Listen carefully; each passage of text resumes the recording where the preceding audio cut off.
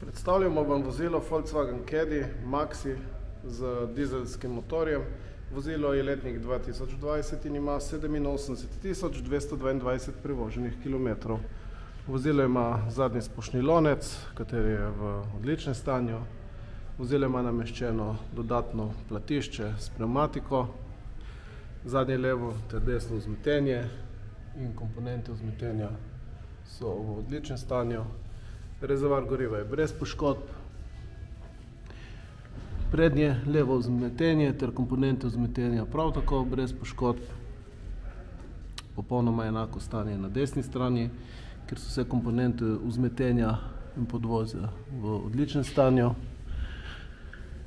Prednji odbijač vozila ima nekaj površinskih prask na dnu odbijača, vendar je kljub temu v odličnem stanju.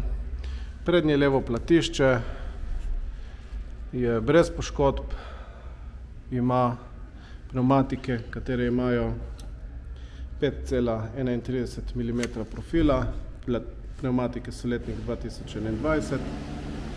Levi prag vozila je v odličnem stanju, zadnje levo platišče prav tako brez poškodb, pnevmatike so letnik dva tisoč dvaindvajset in imajo šest milimetrov profila.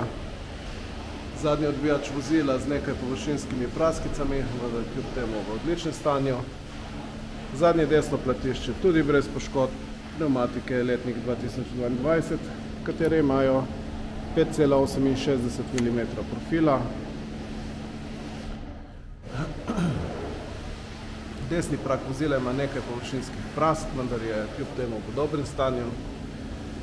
Ter prednje desno platišče prav tako brez poškodb, pnevmatike so letnik dva tisoč enaindvajset in imajo pet cela petinštirideset milimetra profila.